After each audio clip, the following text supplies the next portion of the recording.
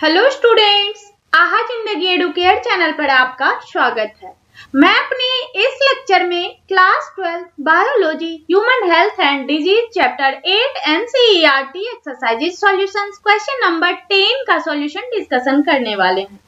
तो question number 10 जो आपके दिए गए हैं what are the various routes by which transmission of human immunodeficiency virus takes place okay तो आइए हम लोग डिस्कस करेंगे।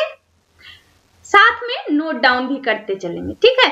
Human immuno deficiency virus means क्या हुआ? एच आई वी ठीक है? तो क्या है? AIDS is caused by H I V virus ठीक है? एड्स कैसे होते हैं? एड्स के कारण जो है, क्या है? एच आई वी वायरस है। तो नोट डाउन करेंगे। AIDS is caused by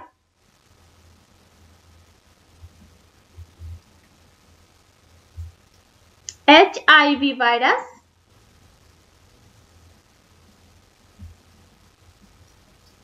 The various routes by which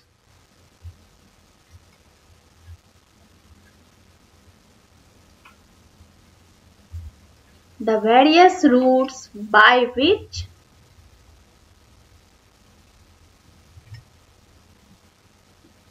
transmission of human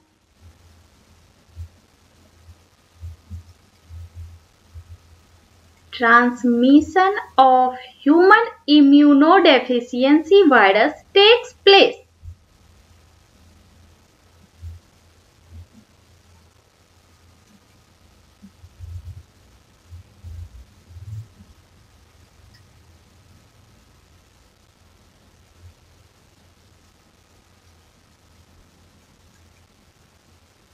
virus takes place,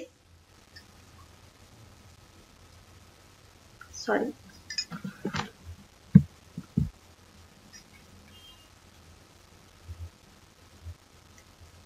or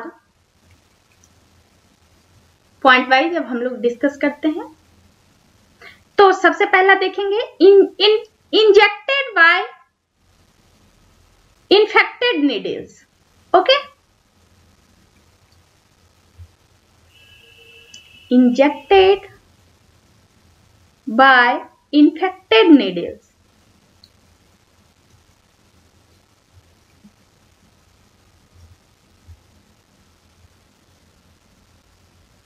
Sorry.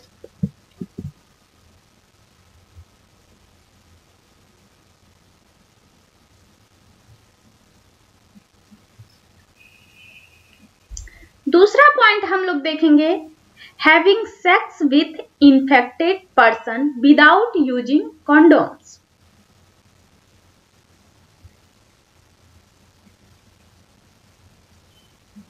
Having sex with infected person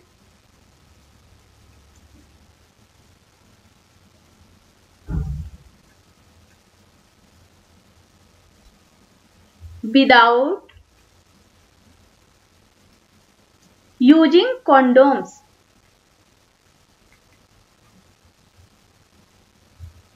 okay तीसरा पॉइंट हम लोग देखेंगे. Infected mother to baby through placenta ठीक है? अगर mother infected है तो baby infected हो सकता है. ठीक है?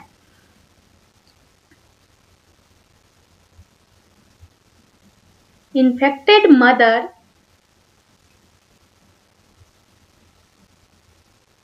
to baby.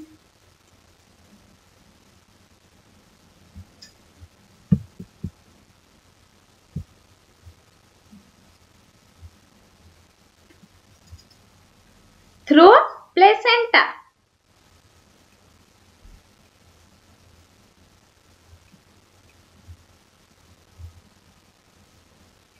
ओके? चौथा पॉइंट हम लोग देखेंगे। Transfer of blood from infected person to normal person okay? अगर ब्लड ट्रांसफ़र किया जाए इन्फेक्टेड पर्सन से लेके और नॉर्मल पर्सन को तो जो नॉर्मल पर्सन है, उनको भी हो जाएँगे, उनमें भी ट्रांसफ़र हो जाते हैं, ठीक है? Transfer of blood from infected person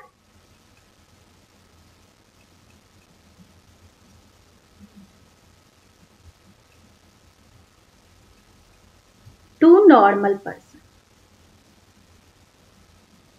ठीक है? तो ये हम लोगों ने देखा।